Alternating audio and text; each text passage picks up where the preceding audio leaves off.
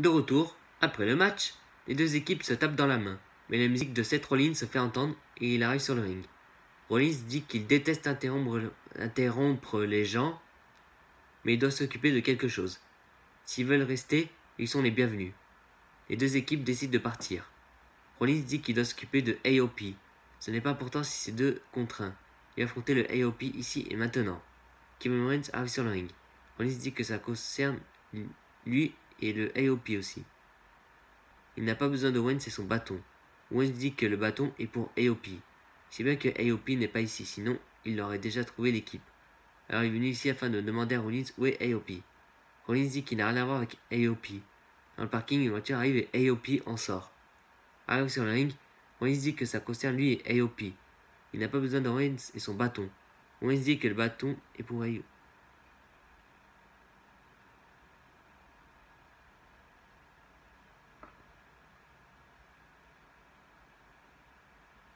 Hein? Ah merde, ils ont dit deux fois. Enfin bref. De retour, Rollins dit que AOP va venir ici botter le cul de Owens. Mais il n'a rien à voir. Owens dit qu'il pourrait aussi s'occuper de Rollins maintenant et après. Rollins dit qu'il devra faire quelque chose qui n'est pas populaire. Il doit partir et lui souhaiter bonne chance pour ce soir.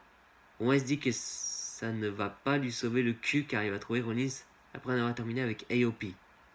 Rollins quitte en coulisses et AOP apparaît au titantron. Le duo parle dans leur langue.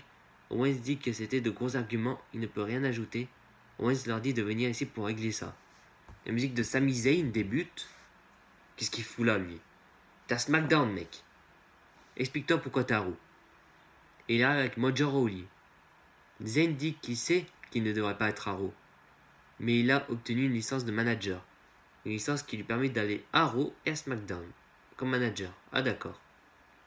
Par contre, tu ne veux catcher qu'à SmackDown, ça tu le sais. Enfin bref. Zayn dit qu'il est un libérateur, il libère des gens. Il comprend qu'Owens est bien préoccupé par AOP et Seth. Il ne va pas le juger pour ça, mais le geste d'Owens en coulisses envers Roddy a dépassé les limites. Il sait à quel point Owens peut être dangereux lorsqu'il est seul. Il doit commencer en admettant qu'Owens n'avait pas raison de faire ça. Zayn lui dit de faire la bonne chose et s'excuser. Rowley dit de bien l'écouter et ne pas manquer de respect à une seconde personne. Zayn dit à, à faire attention à son ton, de faire attention à comment il parle à Owens. Rowley demande pourquoi il devrait avoir peur d'Owens et son bâton. Tout le monde est fort avec un bâton. Owens dit qu'on va tester cette théorie. Owens lance ce bâton et lui fait un stunner. Zayn quitte le ring. Owens enchaîne les coups de bâton sur Rowley. De retour en coulisses, Kevin Owens cherche toujours AOP. De retour, on, on annonce que Buddy Murphy va affronter Alistair Black à TLC. Murphy dit qu'il va prouver qu'il est le meilleur battant Black ce dimanche. Passe un match entre Alistair Black face à Akira Tozawa. Tozawa se lance en saut-suicide, mais Black le bloque avec un coup de genou. Black ramène Tozawa sur le ring et lui fait un Black Mass pour le compte de 3. Gagnant Aleister Black. En coulisses, Charlie est avec Humberto Carrillo pour une interview, mais Elena Vega arrive et l'insulte. Andrade arrive et pousse Carrillo. Les deux se bousculent et disent qu'ils vont s'affronter ce soir. Même tout de suite, de retour, on présente une vidéo de Liv Morgan qui sera bientôt de retour. On passe au match entre Andrade accompagné de Zelina Vega contre Humberto Carrillo. En fin de match, Carrillo évite une charge d'Andrade qui frappe Vega par erreur et elle tombe en bas du ring.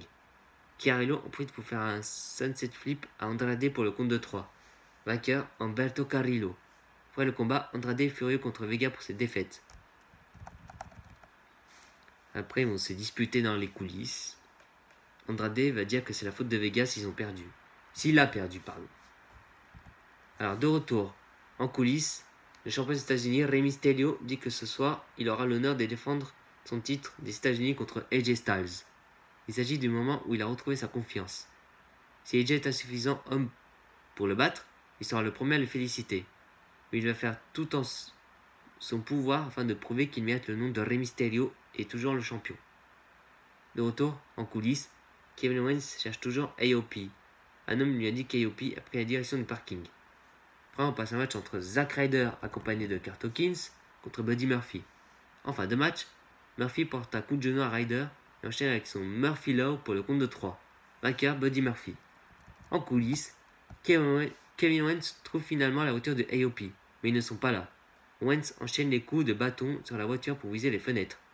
AOP arrive et le frappe dans le dos. AOP le lance contre le mur et la voiture. Un homme avec une capuche sort de la voiture.